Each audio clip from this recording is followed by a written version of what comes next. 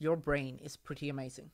Its computing capabilities are, in many metrics, far beyond the biggest supercomputer. Your visual processing center can track and identify tens of thousands of things at a split second and parse information from text at a glance. At the same time, it took many years for one of the largest companies in the world to parse digital text from scanned pages. Your language processing center can parse sounds to words to sentences to meaning, while automatic translation is just barely functional. Deep learning and neural networks are built on the idea that the brain is vastly better at solving problems than any algorithm we have been able to conjure, so why not try to copy whatever it is that the brain is doing? It's probably comically simple for you to see that this is the digit 4 and even though the individual pixel values are very different, it is no harder to recognize any of these images as the digit 4 either, while confidently classifying these as not being the digit 4. However, if given the task to take a 28 by 28 pixel image of a digit and correctly classifying it using some programmatic algorithm, most would probably barely know where to even begin. In this video, I will describe a neural network from the ground up and explain what it means for such a network to learn. Let us begin by trying to solve the problem of classifying digits using neural networks for ourselves. We'll start at the end and work backward. A nice way to represent a classification is to assign each class a number between 0 and 1, representing the probability of the input belonging to that class. In this case, we would want 10 classes, 0 through 9.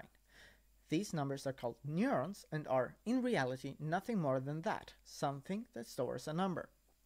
If we feed our solution an image of the digit 4, we want the fourth neuron to have a value close to 1, and the other neurons to be close to 0.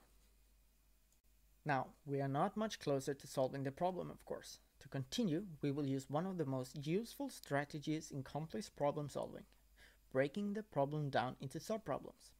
Let's say we had another set of neurons with values between 0 and 1, signifying the existence of some useful pattern in the data. For example, one neuron could represent the existence of a circle at the bottom of the image, while another might signify a straight line on the left side of the image. Then one could identify certain combinations of patterns to indicate a specific digit. For example, a circle at the bottom and a line on the left may signify the digit 6, while two circles may signify an 8. Ignoring for a second the glaring issue of how you would find these patterns in the image in the first place, let us instead consider how one would compute a class-wise probability of each digit given these patterns.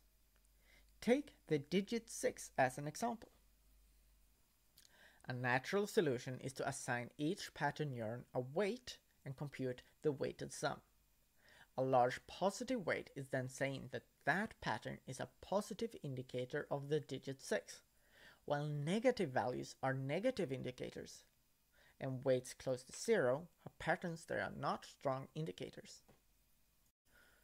Now, we wanted numbers between 0 and 1 and this sum, as written, depending on the weights, can be any real number. What we want is to squish the possible outcomes to the range 0 to 1 using what is known as an activation function.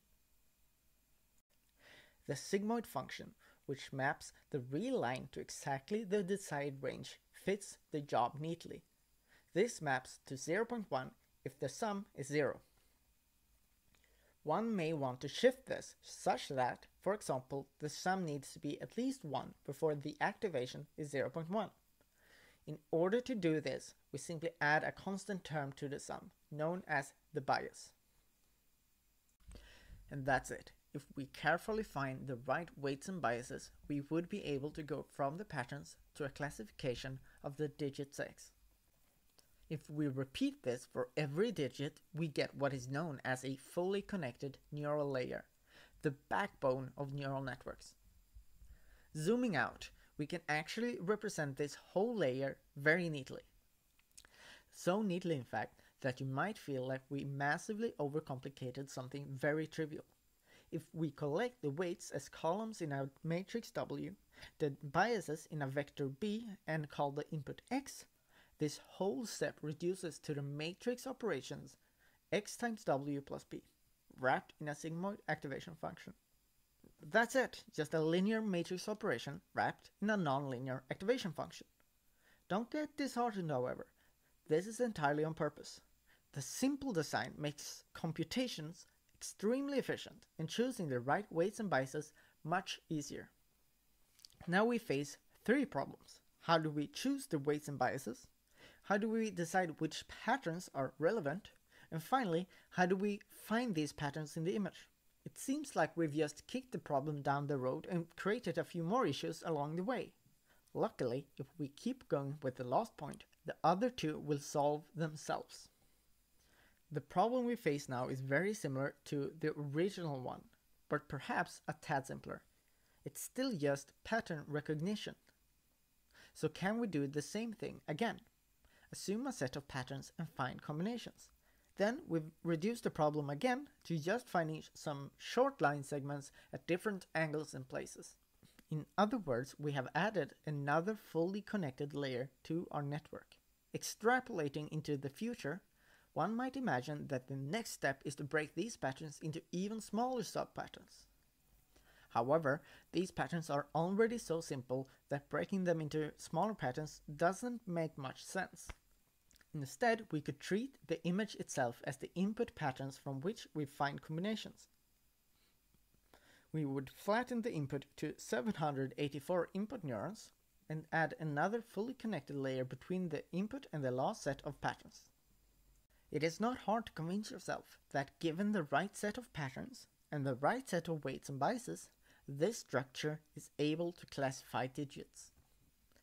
A second observation you may make is that the problem of choosing the right patterns is actually the same as choosing the right weights and biases. The weights and biases of the network entirely define the patterns it extracts and analyzes from the input image. In order to progress, we need to face a harsh reality. The network will in all likelihood not behave in this nice and explainable way. It is a useful simplification to understand why networks are built in layers and how deeper networks can reason about more complex concepts. Yes, it is a nice idea that each neuron represents a specific pattern, but they are not required to do so. In fact, I encourage you to shake off this notion of patterns that has been so useful to us so far and instead think of each layer as providing the network an increasingly intricate understanding of the input data. Without the concept of patterns, we are left with just without the concept of patterns, we are left with without the concept of patterns, we are just left with tuning the weights. Without the concept of patterns, we are left with just Without the concept of patterns, we are left with just tuning the weights and biases such that the network classifies each digit correctly. This is done through what is known as training. Step 1 of training is to choose some metric you want to optimize. While not necessary, it is common to make it so the metric is better the lower it is, with optimal being 0. The choice of metric is far from arbitrary and may heavily influence the speed of training and the final performance. A common loss function for classification is categorical cross entropy. Next, we feed the network an image for which we know what the digit is. The network will make a prediction on which we evaluate the loss function. Then we go through all the weights and biases of the network and tune them such that the loss decreases. This process is repeated until some termination condition is reached. And voila, you've successfully solved the very hard problem of recognizing digits from images. Let us once again introduce the patterns we so hastily discarded. This time with the understanding that they are just a helpful tool, not a fundamental truth. The fully connected neural layer is pretty inefficient at analyzing images.